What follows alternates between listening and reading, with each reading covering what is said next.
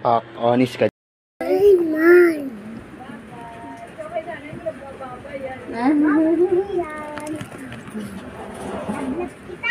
Wala na si